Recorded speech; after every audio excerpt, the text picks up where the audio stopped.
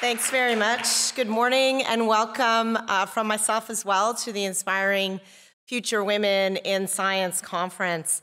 Uh, I'm just thrilled to have the opportunity to sponsor this conference uh, because I love the idea of encouraging more young women into, into a career in science, just as uh, I have done and all these wonderful speakers that you're going to hear from uh, this morning have done as well.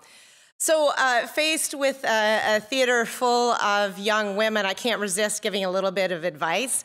My children no longer want to listen to my advice, so it's always nice when I have a captive audience of teenagers. So, uh, you know, you're probably thinking a little bit about uh, what do I want to do when I graduate high school? What's my next uh, step? So, I like to give three pieces of advice to young people as they're contemplating that. The first one, obviously, you're going to pick an area of study that interests you, right? Something that, that you're naturally curious about. But I would suggest you do two more things uh, as you settle in on, uh, on that choice. One is think about what are the different careers that I could do uh, after studying that particular, uh, that particular field. Uh, and understand what's the demand for jobs in that area. That's important because if you've studied something and then you graduate and find that A, you don't like the jobs that are available, or B, there is no jobs available, uh, that there's too much supply and not enough demand, then that's, that's an area of concern. And also understand a little bit about the earnings potential of those positions. And everybody has different expectations, right, of what they want to, to earn and the kind of lifestyle that you want to have. And I just think you should make sure that there's a, a match, right? That the job that you envision doing and the, and the earnings potential of that matches up with the kind of lifestyle that, that you envision. And just make sure that, uh, that there's a match there. Because I think sometimes you see as well uh, young people graduating university and being disappointed because they're not happy with the potential that they find. So uh, obviously, I think science and technology are great choices uh, for anyone who's naturally curious about the world around them, around, about how the world works. Uh, for sure, there's huge demand for careers in science and technology, enormous demand. We're always looking for engineers, technologists, people in quality, skilled tradespeople, uh, all kinds of different applications of science and technology. And the earnings potential is great. So I feel like it really checks the boxes on a lot of all of those areas for anyone who's, as I say, naturally curious about what happens around them and how things work. Now, I know you might be thinking, well, there's not very many women in those areas to study, but I can tell you that that's not the case. The, the numbers are, are really changing, and I feel like the momentum is building in terms of women in science and technology. There's probably 20 times the women studying in engineering and sciences and in technology today than there were 25 years ago when myself and some of the other folks you're going to hear from were, were studying science. You know, when I started out in the automotive industry, I was often the only woman in the room, or maybe there might have been one or two others.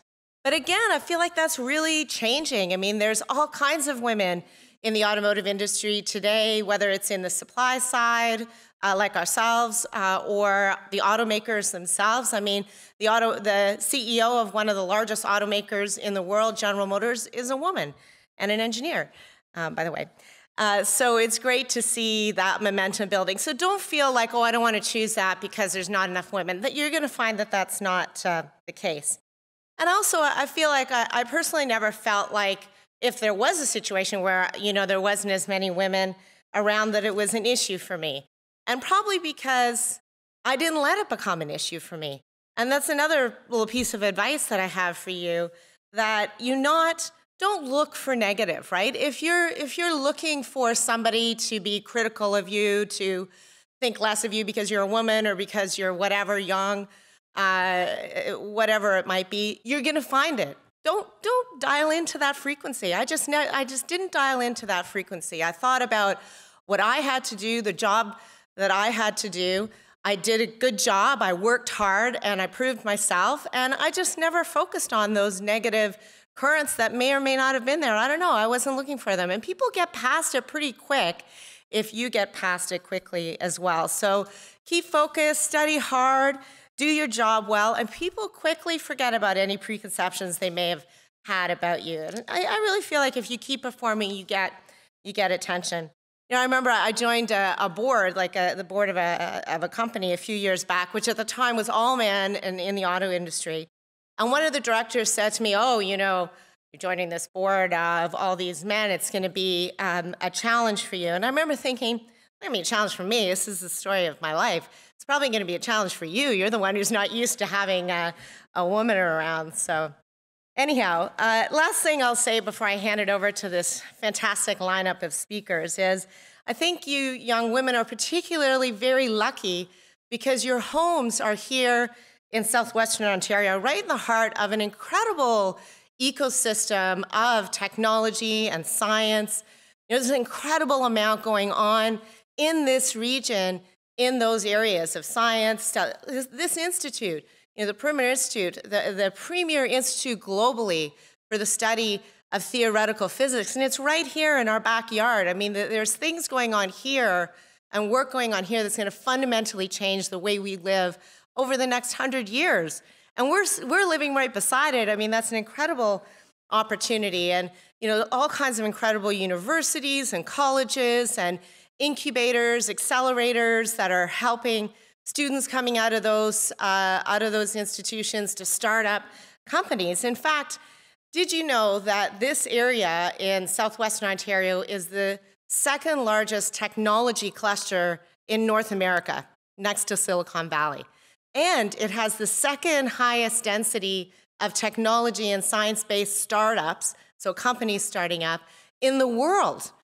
That's incredible. And we're living in the middle of this. Like, there's such opportunity for young people in science and technology to find a job. And, you know, when, when you think about how fast things are evolving right now in terms of technology, in terms of things like artificial intelligence and machine learning that are allowing us to do things dramatically differently than we ever did before. There's going to be less and less sort of unskilled jobs.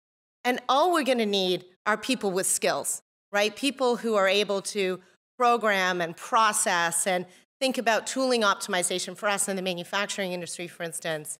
Uh, think about how to improve cycle times and reduce cycle times and improve flow and uh, you know more more of these uh, thinking jobs and skilled jobs, technical jobs, scientific, engineering jobs are going to be much more required than unskilled jobs. So, even more reason really to uh, focus on a career in science uh, and technology. So, you've all made the right first step because you're all here today to learn a little something about uh, careers and how to work in science and technology. So, congratulations on that. I hope you have a fantastic morning. Uh, I hope you learn something new. And ultimately, of course, I hope you decide to pursue a career in science and technology and hopefully uh, uh, talk uh, some young woman friend of yours uh, into doing the same. So have a great morning.